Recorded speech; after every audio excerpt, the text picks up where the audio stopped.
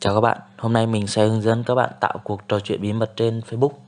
Đầu tiên các bạn mở Messenger lên và chọn người mà các bạn muốn tạo cuộc trò chuyện bí mật, sau đó nhấn vào tên của người đấy. Tiếp theo các bạn chọn đi đến cuộc trò chuyện bí mật. Như các bạn thấy thì biểu tượng đồng hồ, tức là thời gian mà Messenger sẽ tự động xóa tin nhắn của các bạn. Các bạn chỉ cần chọn thời gian và nhắn tin cho người đấy. Video của mình kết thúc tại đây. Hẹn gặp lại các bạn ở những video sau.